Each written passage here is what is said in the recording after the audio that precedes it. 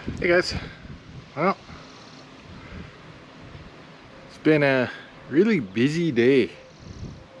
Spraying fungicide, which is usually a sign you've, it's almost always a sign you've got a good looking crop.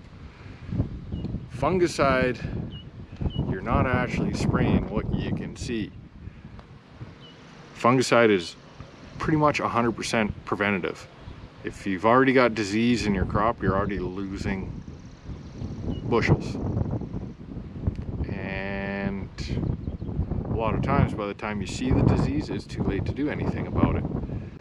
Sounds like dad might be coming back. So probably a sign we're gonna shut down for the night. But if you see what we got going on here, we got a bunch of Prosaro. Prosaro XTR, I quite like it. You don't need a whole ton of it. Like each one of these does 320 acres. We've got about just under 2,000, just over 2,000 acres of wheat, I think. But I've got just under, I got like the 1,920 acres worth here. Two modes of action. It, it's only a group three, but it protects the heads from fusarium and it also protects the flag leaf. So you wanna you wanna time it. I'll actually we'll go out to the crop here, take a, a good look. But what they call kind of day plus one plus two. We did some crop scouting yesterday and it was pretty obvious that we needed to spray down here today. Not well, we have the last field can wait till tomorrow. Dad has actually just got into the last field, so he sprayed so this morning started here's 130 there's 130 so that's 260 uh, 155 over there so that's what 410 and he, he'll be doing this we have another 540 out there so what's that 950 ish we had to move that black tank from the farm. This is down at my uncle's now. All this, we've got, and you, you might go, oh, Devin, well, why do you have it all bunched up there instead of where it could be nice and up at the front like you did with everything else? Well, it's because I got to put that tank back on there. You can see the two pallets and the one on the ground. When I'm done, I'm going to drain all the water out. I'm going to try and pump it all out we're gonna lift that up, that corner up with the uh, tr tr tractor, slip the pallet in, get it under it with the, or get my forks in that, and then I belly wrap it with that big sling back to the carriage. And if that's right empty, I got no problem moving it on there. I put those two down just so everything's at the same height. Strap her down on three corners head back up north tomorrow. So we should probably mid-morning, no, it'd be later than that. Probably by noon or one o'clock, I would expect I'll be hauling this up north, or dad, who knows. But that can all go out the window if we get rain tonight. They're calling for it. Some. You look at one radar and they're saying yeah, or sorry, forecast, they're saying, yeah. You look at another, they're saying, no, I wouldn't mind being shut down for a day or two because we got an inch of rain. That would be a good problem.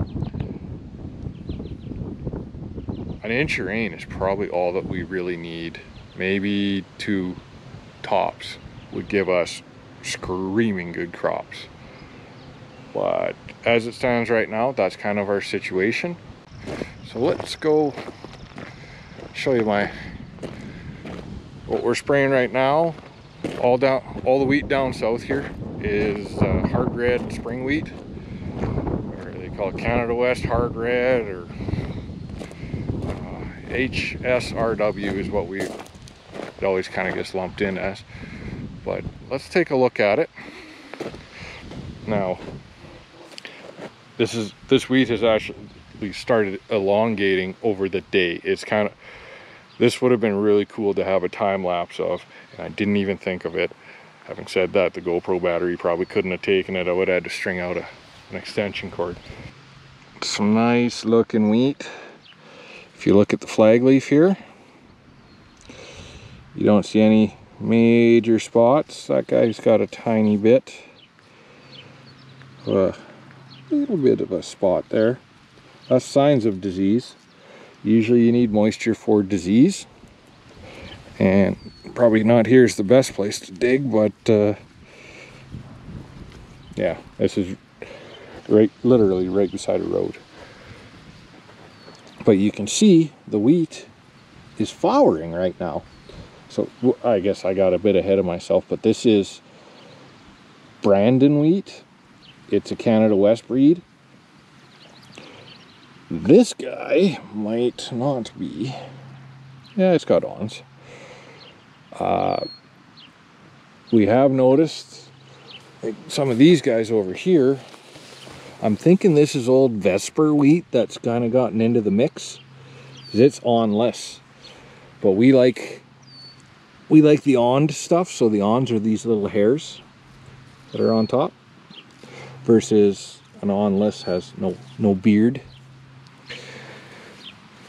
It's kind of the Bart Simpson wheat, but you can see it's flowering.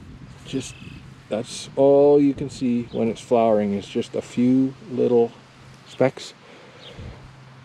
This Brandon wheat has been it's carried a lot of weight for us in the last several years. It's been a really good variety for us. So dad sprayed this probably six hours ago, five hours ago. Probably shouldn't be walking in it. It is fungicide, but it's still chemical. So now, like I said, I'm, it's, it's, I'm not even out in the good stuff yet. This is, actually looks really, really good. I'm going down a, not really what you would call a tram line. This is a tramp line, T-R-A-M-P. But let's look at, I know that hill always gets a little light, but let's look at what we got going on in here. So typically what we're looking at right there, you're kind of day zero right there. Right here, you're looking at day plus one. You know, kind of, you're back to day zero there. This guy would be day negative one because it's still inside the boot, maybe even negative two. That's a tiller, so you kind of got to go based on the main stems. But you can see this morning, I shouldn't say you can see, but this morning, let's see if I can, most of them were looking like that just past the flag leaf. That's not all that big of a flag leaf, but that's also not a, a main. So that's about what they looked like this morning. This guy right here. And this is what they look like now. They've elongated over the last day or two. You know, there were some that were already headed out, but so they elongate they and flower. And one of the and then they get pollinated. So as it stands right now, there's no wheat in there because it's not sterile, it's just not fertilized yet. Once it's fertilized, it'll start filling. And one of the reasons we like, isn't that pretty? Just the way it gets blown in the wind there. One of the reasons we like this awned wheat is that it seems to make it harder for the midge to get in because uh, it's only open for a little bit and then it closes and there's a lot more stuff in the way.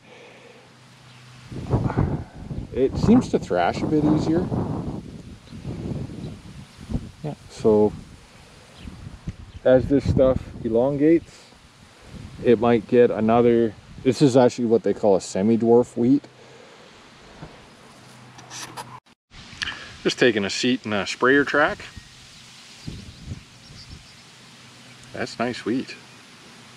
if it can get filled out and it doesn't get hailed on and it doesn't get chewed up by grasshoppers and then it doesn't get rained on in September which happened in 2019 over and over and over you know there's a lot of ifs it's a long way despite you know some of the bins just being uh, just on the other side of those trees this wheat is still a long way from the bin and an even longer way from the elevator. But we're look, this is a semi-dwarf variety. So it's not gonna get a whole lot taller than this. Maybe a couple inches, but it it tends to be about three feet as the max. So with, let's take a look. My boots, I think my I wear like 34 inseam pants.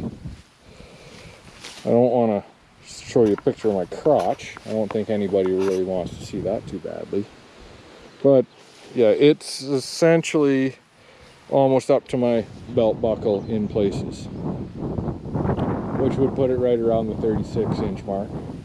You know, there's some shorter stuff, but it's looking really healthy. I'm not trying to gloat. It's looking really healthy. Uh, fusarium is a fungus that gets in the head and it, it just, it shrimp, it makes the wheat grow crappy and you get really, oh you son of a bitch. Look at that. Can you see that?